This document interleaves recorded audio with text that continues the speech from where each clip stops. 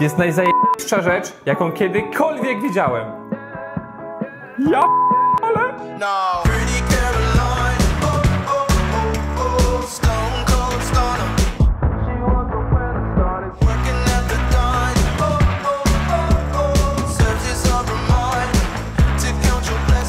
Nie nagrywaj, jak grzeje stópki. Dobra. Jestem gotowy. Jeżeli chodzi o samo pudełko, no to tak naprawdę zbyt wiele tam nie znajdziemy. Oprócz płetwy, klawiatury i dwóch dodatków w postaci... Wie- Więcej ich tam było. W każdym bądź razie, to, to takie urządzonko do wyciągania kick-upów, roz... rozdzielnik, rozdziałka, rozdzielacz z combo jacka do dwóch osobnych jacków, to znaczy się do słuchawek i do mikrofonu, ale również naklejeczki oraz taką dosyć skromną instrukcję. Ale tak naprawdę jest to to, co interesuje nas najmniej, także przejdźmy do samej klawiatury. Wyposażona jest w przełączniki Kylie Red. Jej waga to coś około powyżej kilograma. Jest przeogromna i co najważniejsze, ma ogrom LEDów. Samej klawiatury korzystam plus minus od jakiegoś tygodnia. Uprzedzając wasze pytania, jak ona się sprawdzi w grach, nie testowałem, bo, bo nie gram w gry. Aczkolwiek jestem w stanie wam powiedzieć, jak ona się sprawdzi w trakcie montowania, w trakcie pisania, do, do, do tego, czego służy klawiatura. Na początek jedna z ważniejszych rzeczy. Jestem przystosowany do mniejszych klawiatur, do tak zwanych TKL. Już wam pokazuję. Do takich mniejszych klawiatur bez klawiatury numerycznej, gdzie klawisze są bardzo mocno ściśnięte i nie ma tutaj przycisków makro. Na początku miałem bardzo duży problem taki, że przy tej klawiaturze z Patriota klikałem sobie gdzieś tam, nie wiem, jakiś ten przycisk makro na dole skrajnie z lewej strony, bo tak jakby tutaj myślałem, że, że to jest e, nieważne. Po tygodniu użytkowania przyzwyczaiłem się i korzysta się z tej klawiatury naprawdę wygodnie. W sumie zastąpiły mi te klawisze makro nawet Stream Deckach. To znaczy się do montowania. Długość samego przewodu to 1,8 metra. A sama klawiatura zbudowana jest z aluminium oraz plastiku. Dodatkowo pochwalę się, że nawet wiem z jakiego pierwiastka. AL13. To się nazywa tablica Mendelejewa, ją wymyślił e, Antoni Mendelejew, albo Roman Mendelejew, albo Sebastian. Ona przedstawia wszystkie pierwiastki chemiczne. Woda, tlen, potas, wodór. Jest znak wody? H2O wystarczy kropla. No i w tym miejscu właśnie pojawia się jedna i chyba jedyna wada tej klawiatury, jaką ja dostrzegłem, jaką ja odczułem. A mianowicie chodzi tutaj o te plastikowe wykończenia. Zarówno na tyle klawiatury, tutaj w tym miejscu, jak i od dołu, jest to taki dosyć... Przypomina mi to po prostu niskojakościowy plastik. I tak naprawdę to nie przeszkadza w żaden sposób w użytkowaniu, no bo kto z nas patrzy na, na dół klawiatury? Jeżeli ją mamy przed sobą, no to mamy przed sobą tak naprawdę tą aluminiową stronę i w ten sposób właśnie z niej korzystamy. No to tyle chciałem powiedzieć na temat tego plastiku. Przejdźmy dalej. Również na dole obudowy znajdziemy takie Klawiatury. Obudowy. Również na dole klawiatury znajdziemy plastikowe podkładki, e, metalowe, e, gumowe podkładki, plastikowe podpórki. Również na dole klawiatury znajdziemy gumowe podstawki i plastikowe podkładki, Na odwrót.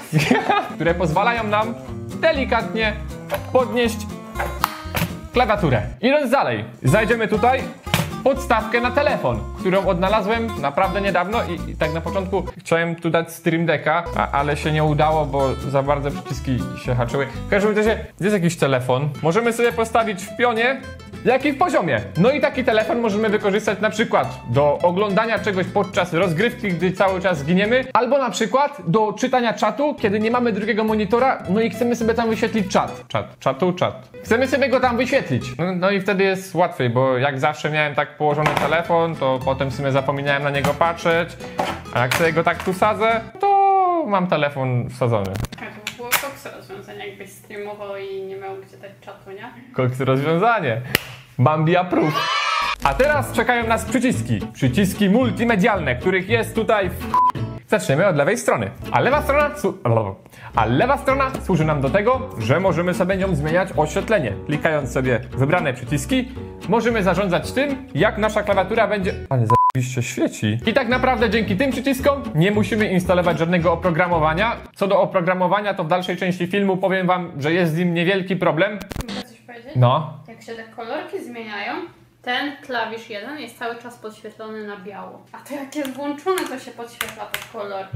Dole, to jest coś, czego ja bym w życiu nie zauważył. Czyli tak naprawdę nie potrzebujemy tego oprogramowania, gdy sobie na przykład chcemy zmienić oświetlenie na tęczowe, jednokolorowe, zmieniające się fade'em. I, i numlock sieci inaczej jak jest włączony, a inaczej jak jest wyłączony. To, to taki future. Ale ten kolor, taki karnawał, taki to jest efekt konfetti chyba. O, zarąbiście wygląda ten efekt. Mam jakiegoś snake'a, tu jest rozbłysk i inne kolory są.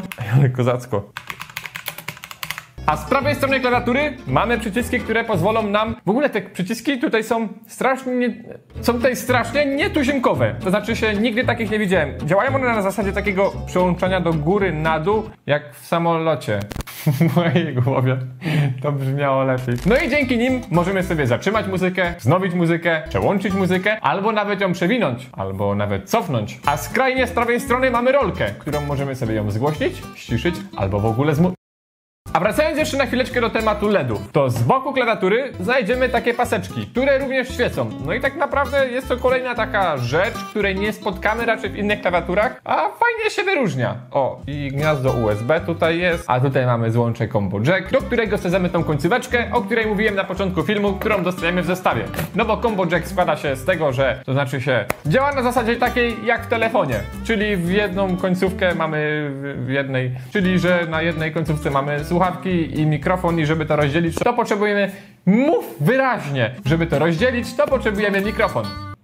A mikrofon. To potrzebujemy po prostu rozdzielacz. Nice. A przechodząc do tematu podpóreczki, która jest magnetyczna i ma tutaj piny, które do czego mogą służyć? No, tak naprawdę myślałem na początku, że ten pasaczek, który tutaj jest, no to będzie gdzieś tutaj świecić z poziomu klawiszy, a to jest przezroczysty plastik. Nie, to nie jest takie tanie, najgorsze możliwe rozwiązanie, tylko tutaj producent się postarał postarał się i zamontował do podgarstnika, do płetwy LEDy ARGB, proszę Państwa. Sama podpórka wykonana jest z plastiku. Szkoda, że nie jest to żadna jakaś guma, czy nie jest to jakiś wypełniony materiał. No i jeszcze jedna rzecz, no to mogłaby być ona troszeczkę dłuższa. Tak mi się przynajmniej wydaje, że jeżeli byłaby ona dłuższa, to lepiej by mi się układała na niej ręka. Nie zmienia to jednak faktu, że korzystając z niej, naprawdę wygodnie mi się z tej klawiatury korzystało. I czy będę z niej dalej korzystać? Tego się zaraz dowiecie. Od spodu również na podpórce mamy gumowe podkładki, także tutaj nie ma żadnego problemu, że ta klawiatura nam gdzieś się rusza. O, cały stolik mi się rusza, a klawiatura stoi w miejscu. Przejdźmy dalej. A dalej czekają nas klawisze makro, których tutaj jest naprawdę 5 z lewej strony. I są one naprawdę bardzo pomocne i wygodne podczas użytkowania. Mnie one zastąpiły Stream Decka w tych najważniejszych funkcjach, które mam ustawione pod jakieś tam windy. Czyli na przykład nestowanie, czyli na przykład unlinkowanie i tak dalej, i tak dalej. Przy pomocy programu do zarządzania klawiaturą oczywiście mamy możliwość zaprogramowania dosłownie każdego klawisza. Również przy użyciu klawisza funkcyjnego FN i innego wybranego klawisza jakąś przypisaną funkcją możemy sobie na przykład zmienić stronę, w którą będzie szła nasza fala LEDów, możemy sobie wczytać jakiś profil. Także jest to rozwiązane naprawdę w taki sposób, że możemy zarządzać całą klawiaturą bez jakiegoś oprogramowania. No oczywiście będzie one potrzebne do zrobienia makra. Ma makro. Jeżeli chodzi o przełączniki i o to, jak pisze się na klawiaturze, no to porównując do SteelSeries Apex 7, którą wcześniej jakby z niej korzystałem, to według mnie dźwięk kliknięcia jest dużo przyjemniejszy na klawiaturze Patriota. Jest on taki bardziej jakby stłumiony. Według mnie no, jest to po prostu lepszy dźwięk i to samo klikanie jest dla mnie przyjemniejsze na klawiaturze Patriota. Nie wiem, nie wiem dlaczego. W obu przypadkach mowa tutaj o przełącznikach RED, no innych producentów. Zresztą sami posłuchajcie, jak te klawisze brzmią.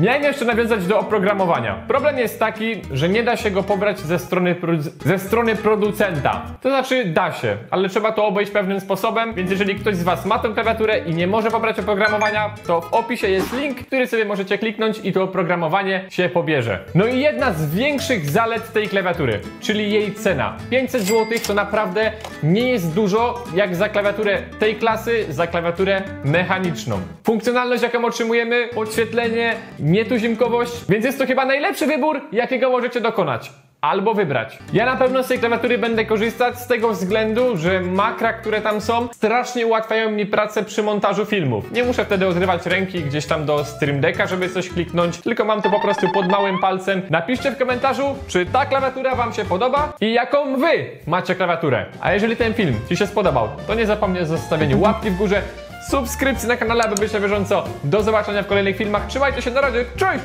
Yo!